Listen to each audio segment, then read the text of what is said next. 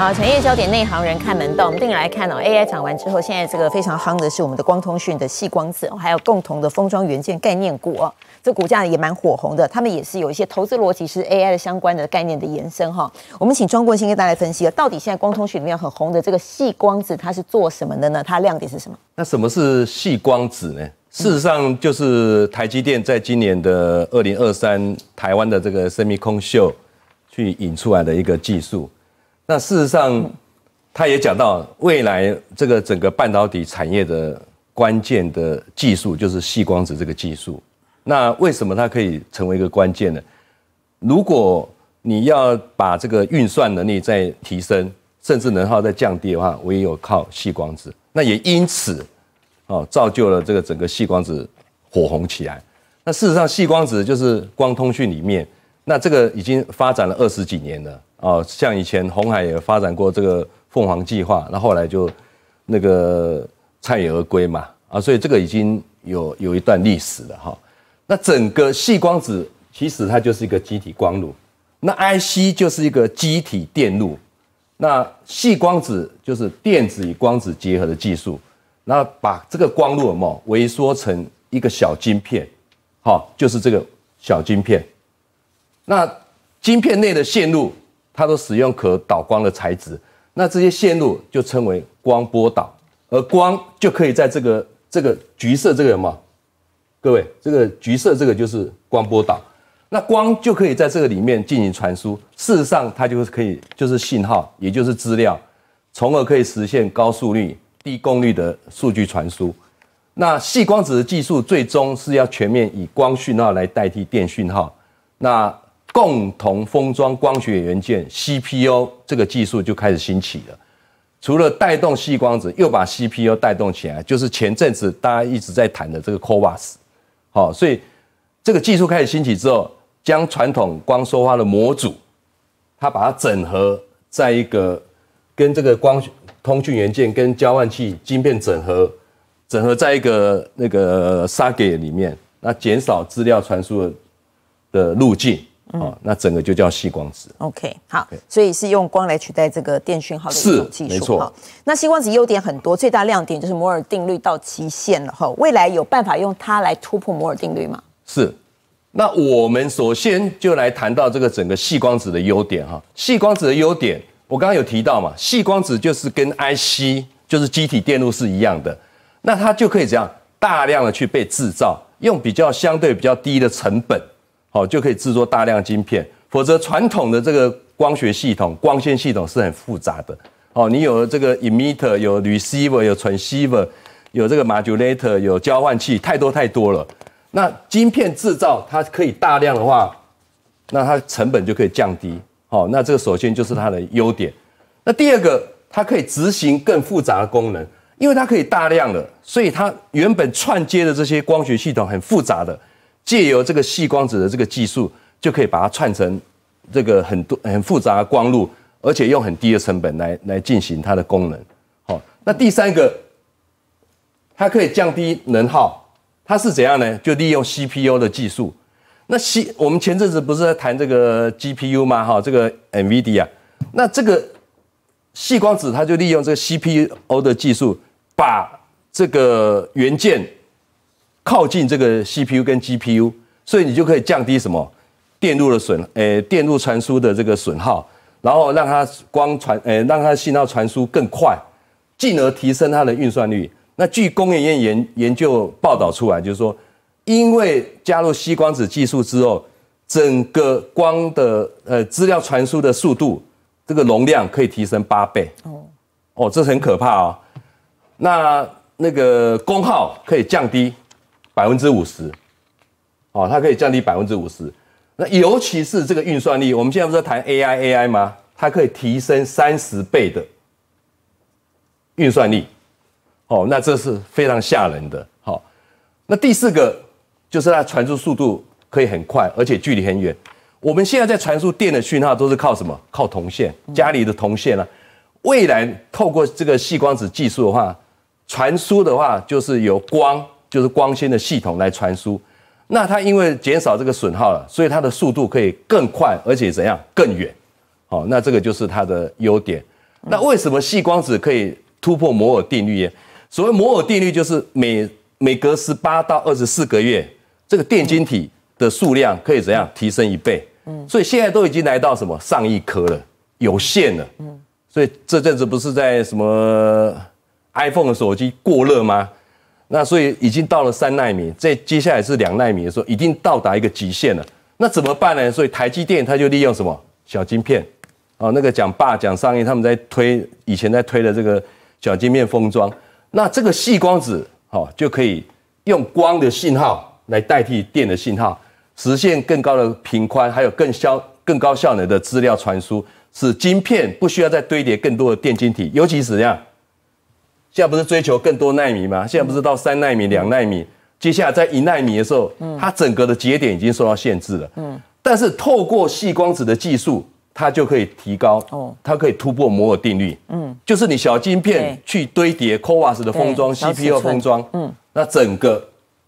就可以突破，所以未来低成本又低耗能，哎，又低耗能，所以未来这个是极具发展的潜力。好，听起来觉得很厉害，但是现在短期内好像没有实质运用的效益，为什么？哎，其实应该这样讲哈，因为现在的细光子就是 CPU 的话，就是跟传输速率有关系，目前都大概了不起一百 G，哦，可能市场现在主流是多少？四百 G，嗯，连八百 G 都还不是很成熟，那怎么办？未来 CPU 会应用在所谓的一点六 T 跟三点二 T，那个所谓这个 T 的话，就是每秒你传输的那个速度。好，所以目前二零二二年整个产值出来大概十三亿 B 点，就诶一点三 B 点，就是大概十三亿美金。但是它的年复合成长率是二十八点五。好，那未来到二零二八年会成长到五十亿美金。嗯，那这个是不含什么？我们以前它是以光通讯的这个领域在看的。现在加入了什么 AI，哦，运算，还有什么所谓的资料中心，还有什么这个 LiDAR，哦，还有所谓的这个医学的检测，所以这个市场是很大的。那只是现在才刚开始，也就是它未来就是一个产业。嗯，那我我我觉得它就是它一个亮点。OK，我们把 CPU 跟大家解释一下好不好？这个共同封装光学元件，CPU 就是所谓的。共同封装的光学元件，就是在利用细光子的技术，将光通讯的元件与交换器的晶片去整合，共同封装在什么光引擎模组上，并安装在一个插槽上，一个 socket。嗯，好，又来了哦。你看，为什么之前我会讲窄板，这个有很大市场，未来又是窄板，又是窄板，嗯，IC 窄板，嗯，PCB 电路板，嗯，好，所以这个这个。投资是有脉络可循的，嘿，都都要放到这载板上。那这个就是所谓的这个电电子通讯元件。那你结合了这个那个 PIC，所谓 PIC 就是这个光这个光学元件。那整个你把它靠近这个 GPU 跟 CPU 的时候，它的电路传输它就不会有损耗，而且速度很快。那这个就可以达到怎么样？信号不会 delay，而且降低功耗的这个效果。所以在未来高速传输的情况之下，这是一个很值得发展的哦。那这个整个 CPU 概念就在这里。好，所以 CPU 在高速传输的上是一定会走的路。是。OK，我们来看一下现在应用情况如何。那这个就是这个整个交换器哈，应用在 CPU 应用与资料中心。我们可以发现哦，在二零二三年啊，几乎是怎样一点点。好，那大概。是零点三六亿美金左右，那未来的十年，它的复合成长率是高达十九 percent，也就是每年都十九 percent 这样在成长，所以未来会高达哦到那个三十几亿美金，那这个就是一个很重要的。那我们 CPU 的应用，它会聚焦在哪里？资料中心，好，还有 AI 伺服器，那整个它的应用的话，它的需求。一定是什么高速运算，还有快速传输的需求。那根据这个调研机构这个 Lighting 哦呃 Light Counting 的数据，CPU 的目前还很多挑战。我们在讲 CoWAS，为什么台积电的瓶颈在 CoWAS？它已经很难封装了。你又把这个光学元件又把它应用在上面，而且封装在一起，那又更难了。嗯，好，所以未来目前的市场主流四百 G、八百 G。